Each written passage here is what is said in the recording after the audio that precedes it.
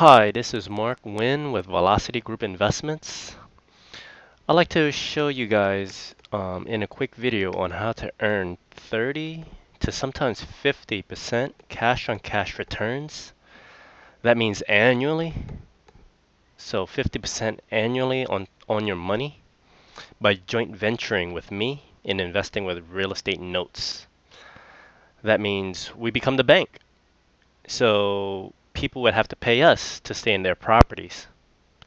So it's it's exciting stuff that we're getting into right now. Um, some someone one time made a comment to me, and he said, "Man, the banks always have the biggest and baddest buildings out there. How how do they make their money?" Well, as right now in this video, I'm going to enlighten you on one way, one very profitable way, how we all can act as the bank and make money as um, as they do. So here we go. Let's get started. So I'm gonna open up a file that I just got from a hedge fund buddy of mine. Um, this file is from Granite, a hedge fund called Granite in uh, in California. So when we get a bulk of notes, it's going to appear something like this. It's all mumbo jumbo. So property address, occupancy, um, current balance, all sorts of things. Um, it kind of looks like craziness, but there's a method to this madness right here. So we have 93 right here, so 92 files. Excuse me. Right here is loss mitigation status is basically comments on from from Granite on what is happening to some of these files. Uh, some of them you'll see foreclosure intent. FC means foreclosure. This means mod complete. Mod complete loan mod. This is an REO, so you know they, they already foreclosed on that one. So this is what we do. I'm going to do a quick presentation on how to how to make some money. Um, risk low risk. So right here i want to sort this out by occupancy okay? So let's go here. I want owner occupied only. So basically homeowners that's in their home most of the time they want to stay in their home because their mortgages are usually higher than rent uh, I'm sorry mortgages are less than rents out there in the marketplace. So if they had to move out they're they're actually going to have to pay pay more money to live rather than just staying at their current location. So I sorted out all the homeowner occupied right?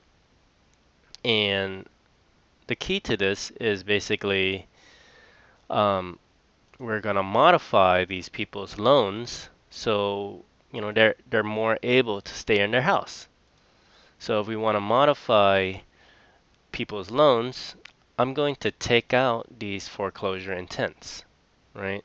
So I, I don't want to foreclose on these properties. Foreclosure is the last thing I want to do. I mean, it's it's it's a tool that we have to use if they don't cooperate, then we'll foreclose. But right now, let's let's play the game of modifying. Let's help these owners out stay in their properties. So all of these are foreclosure intents or foreclosure in process. So I'm going to take them out. So let's take that out. That leaves us with how many files? That leaves us with 15 files. Now I see New York, I see New Jersey here. I let's not play in New York and in New Jersey. Um, I've dealt with these states. These states are sometimes three years to four years of foreclosure. And if we do end up with a property, let's not play in that game. Right? We want to do it as fast as we can. So take that out. Now we have um, 13 left. 13 left.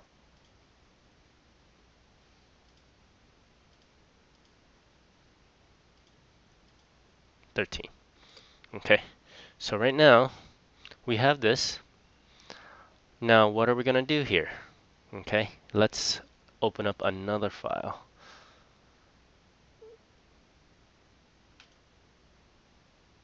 Let's open up another file and I'll show you these numbers. And it's it's pretty exciting once you see the end number. Okay, so what do we need right here? We have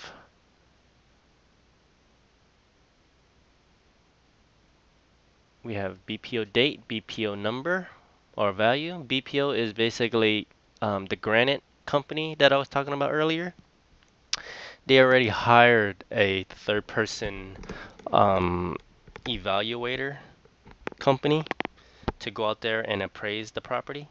So this is what they appraise uh, some of these properties for. Okay, current balance right here is basically what these people owe. And this is the value, right?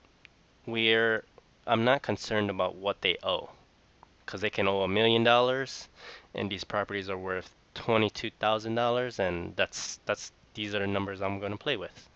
So right here I'm going to add this up. It adds up to 704 287 right? So I'm right here. BPO 704. What was it again? 704, 287. 287. In right there. Now we're going to over here. Current payments. And that includes um, P PMI and insurance. So we're going to add this up. This is 7450, 77. 7450, 77.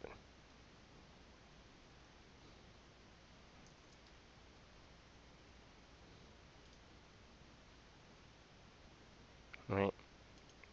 This is current payments.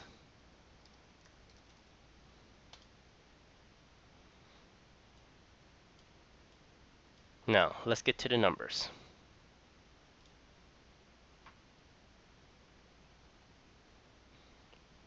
I'm going here. Oops.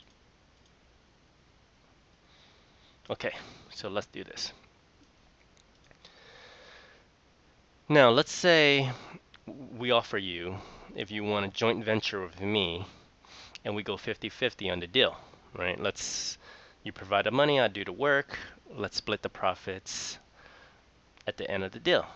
Okay, so on this 13 properties or 13 files right here, it's worth as far as um, these BPOs is is uh whatever they say right here, it's worth almost 700 $700,000. Okay. Um, of course, we're going to do our due diligence and make sure it's worth that. So I'll be the one calling other agents, um, paying for evaluations to make sure the property is is worth that much um, before we purchase it. But let's play a game. Let's let's say these numbers are correct. Okay. Well, we don't want to buy these files at 704, $704,000. We want a discount. So usually we buy, you know, 25, sometimes 30, sometimes 40% on a dollar. Okay, so so for this, let's say we buy it at 40 cents on a dollar times 40 cents on a dollar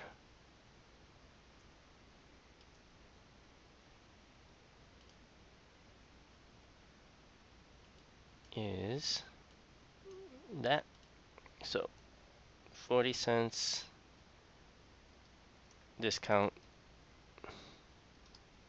purchase price right So we're buying it for this. So I'm going to borrow 281 plus a little more. I'll let's say I'm gonna borrow 300,000 because there is servicing fees, there's evaluation costs, there's attorney costs, there's there's my time involved in it. Um, there's a lot of costs involved in making this deal happen, but we'll you'll you'll see eventually. Um, at the end of this presentation, you'll see why I borrowed all of that. But let's say we borrowed 300,000. Borrowed money. Okay. So right here, this is the profit part. Okay. So right now, they're set to pay these people right here. They're set to pay 7,400 bucks a month. That's your cash flow, right? But obviously, these people are not paying. This this is um, distress mortgages. So these people are not paying, and what's what's to say they're gonna pay all of these off? Probably, most likely, they're not gonna pay all that off. So what if we gave them a discount? If we gave them a discount, would they be willing to to pay for it? Yeah, most likely. Let's say let's pretend that we're gonna give them a 20% discount, right? 20% discount, that means times 80%, right? So your cash flow, if it's 20% discount payments. So our cash flow would be $5,900 and that's per month. Okay, if it's times times a year,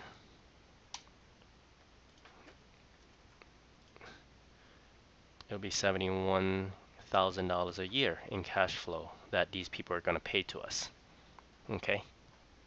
Now, if we were going 50-50 in this deal, okay, 71,000 50-50 of that, okay, would be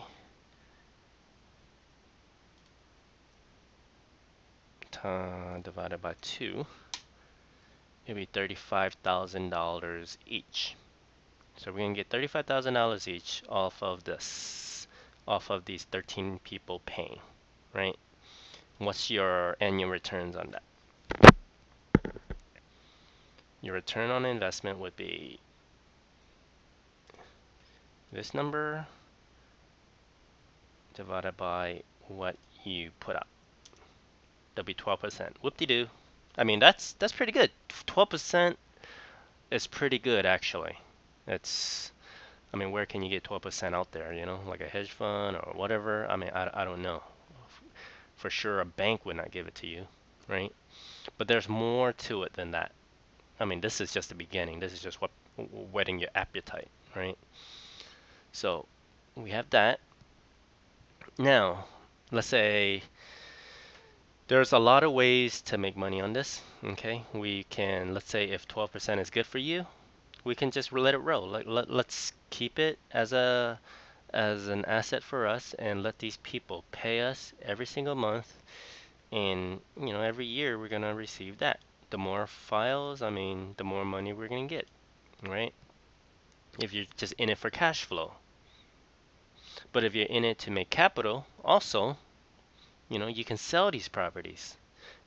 You know, the we put out $300,000, but we control 70, I'm sorry, we can we put out $300,000, but we control $704,000 worth of property according to the third party analysis over here. Okay, so we control that. What if we sold that off? We bought it at a discount. Let's say we sold it. We sold these properties and we just wanted to make a little bit of money back. Okay. Let's use an arbitrary number. Let's use 80%. We're going to sell these properties off at 80% market value. Now, just just for a side note, um, there are programs out there if if these people are paying concurrently for for three months, we're able to sell it at 97%. I mean, people out there, institutions out there, I mean, if if these things are are, are consecutively paying for 12 months, I mean, institutions have no problems out there selling, buying it at 90% of value. Um, I mean, if if we're gonna take it to foreclosure, and then you know you really want a quick sell, you you could sell it off at 70% um, to a uh, a rehabber. So I mean, doing setting a number at 80% is a very very um, conservative number, I would say. So let's say we sold this. Sold at 80%. Okay, so we got our, our value times 80%. So we have this.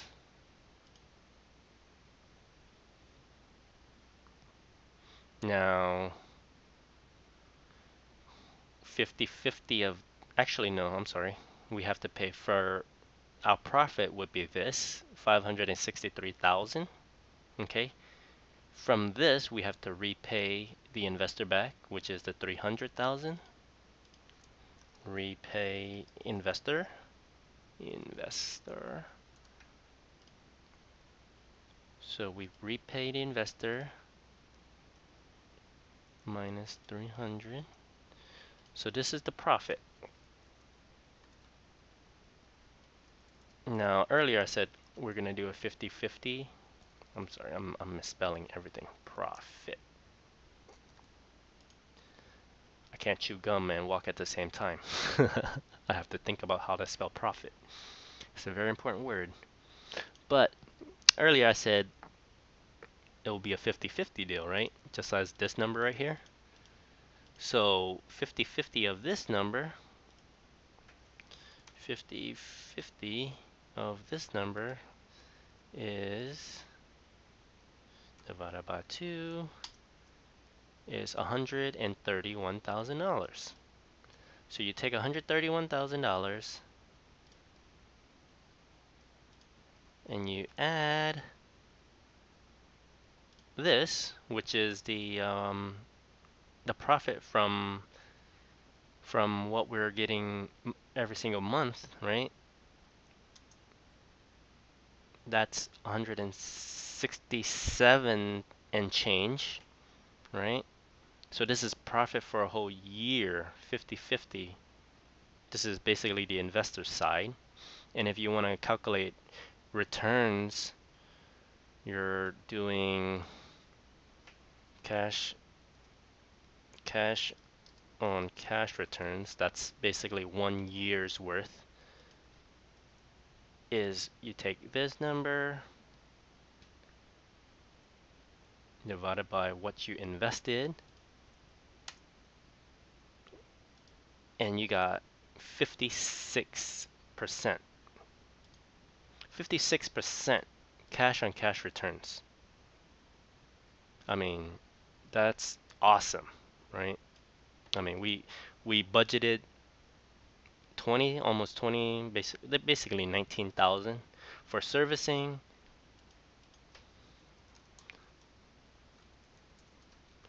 We we we you know that's for attorney fees for for real estate agents we, we, we're it's more than enough money for the servicing of these files. Um, the only number that we don't have in here is basically if we do ever take the property back and we wanted to fix it up. I mean, that number is not in there, but we'll talk if we do ever take the, the, the property back. Um, one strategy is basically selling at a wholesale price, let's say at 60 or 70% or 80%, people are willing to buy it for that much. So we don't even have to touch the property. So, I mean, I, I don't know.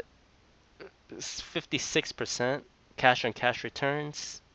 I mean, something you're you're you're putting your money in some with something that's secured by real estate and not just like some some stock bonds out there, whatever it is. I saw I saw CNN report saying on the stock market, oh, we're gauging the stock market due to the news of the Ebola virus. Like how what why should that be a factor in in your investment, like the Ebola virus, right? If if it's bad, then your stock goes down. If it's good, then your stock goes up. Like what? I, I don't understand that fact. All I understand is brick and mortar, which is real estate, and people needs to to live in in a place. And if you can live in a place that's cheaper than rent, people would do that. And we're here to help people out. So um, you know, we can get some good karma in our lives.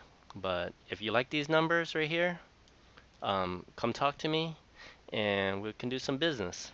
Um, if you don't, I, I, you know, tell sell me on your plan because I'll I'll go there. But it's pretty hard earning 50% of your your investments out in in a year uh, in something legit. So right now I showed you this, and hopefully you've enjoyed the program and get back to me. Okay? Have a nice day.